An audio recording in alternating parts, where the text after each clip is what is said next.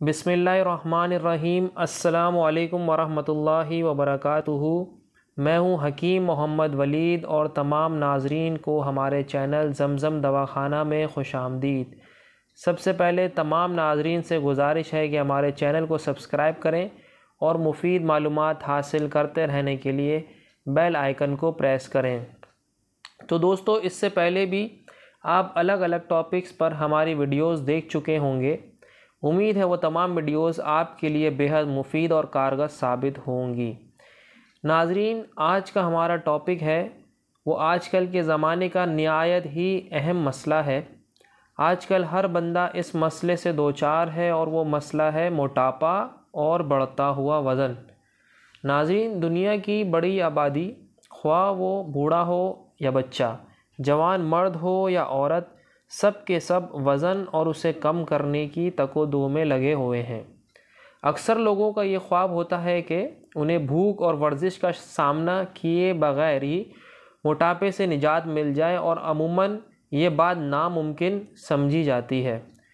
तो नाजरीन, आज जो नुस्खा हम आपको बताने जा रहे हैं, वो वज़न कम करने के लिए इंतहाई मुफीद है और इस नुस्खे के इस्तेमाल से बग़ैर वर्जिश और बिना किसी डाइट के आप बहुत जल्द बढ़ा हुआ वज़न कम कर सकेंगे इन तो आइए नाजरीन, हम बढ़ते हैं अपने नुस्खे की जानब, जिसमें सबसे पहले है लाख दाना, जो कि आप लेंगे पचास ग्राम।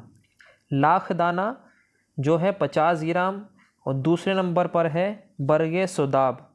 बरगे सुदाब आप लेंगे सौ ग्राम, अजवाइन देसी पचास ग्राम, सफ़ेद ज़ीरा पचास ग्राम पहाड़ी पुदीना। अच्छा इसमें दो तरह के पुदीना आते हैं। एक तो रेगुलर हम यूज़ करते हैं और एक आता है पहाड़ी पुदीना।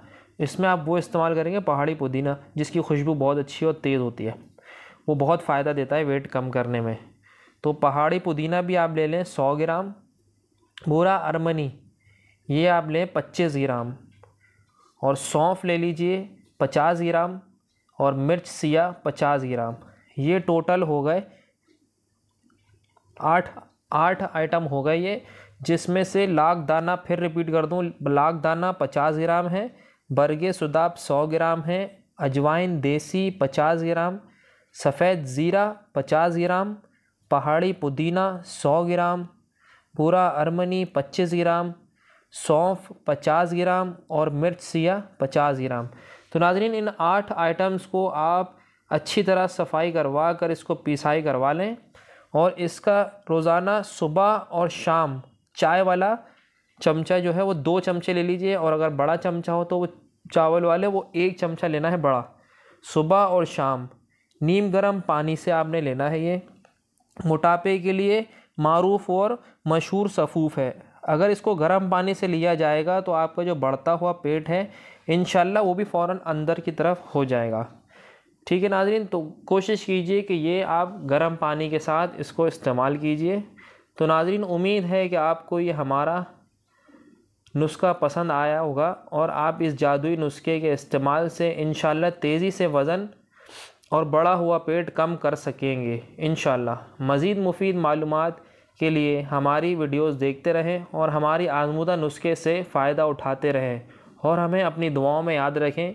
तब तक दीजिए इजाज़त हकीम मोहम्मद वलीद को अस्सलाम वालेकुम वरहमतुल्लाहि वबरकातुहू।